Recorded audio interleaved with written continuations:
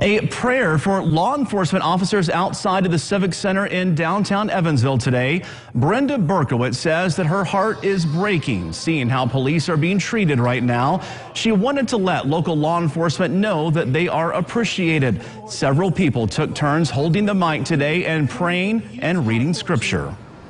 I just really feel that we need to let the, the men and women that are, that are protecting us know that we've got their back. prosper. We pray, God. Berkowitz encourages the community to thank officers for their service when they see them out in the community.